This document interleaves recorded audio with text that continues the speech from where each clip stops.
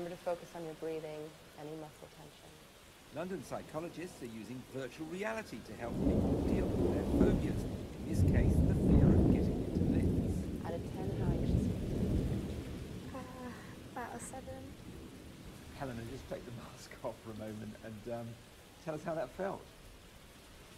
bit bizarre. uh, it's so real. Like it, it was exactly like you're there. And then, especially in the smallest one, we're just confined in this horrible space.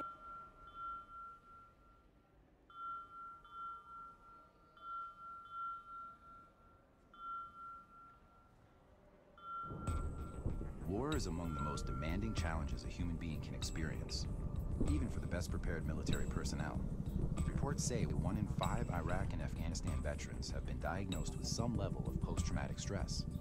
But how to help is not always clear.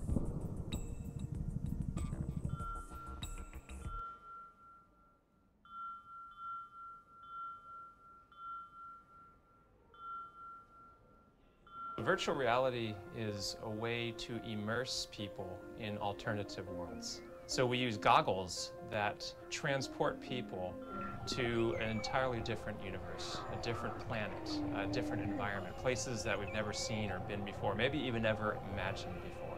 We meet patients where they are. We come to their hospital room and uh, we fit them with the goggles, make sure they're, they're snug and comfortable. And then we bring them through the video experiences. One video brings people to Iceland, where they get in a helicopter and they can explore these unbelievable topographies. The second video is an art studio, which is an opportunity for patients to sit back and draw a painting. The third video is great for people that love the water and love the sea. They can swim with dolphins and with uh, sea creatures like uh, blue whales. It takes about 20 minutes of time, and then afterwards, we sit down and find out what they thought of it and spend a little time learning from it.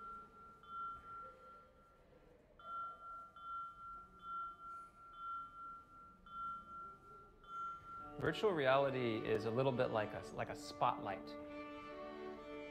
The uh, experience of uh, the mind sort of being in this environment when it's uh, immersed in this sort of peaceful, positive environment.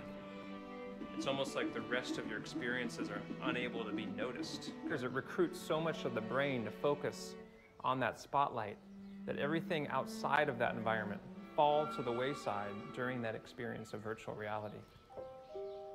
Cedars-Sinai here in LA is one of a handful of hospitals experimenting with a surprising new treatment for people suffering acute pain. Wonder if we could start by asking how long you've been here at Cedars-Sinai?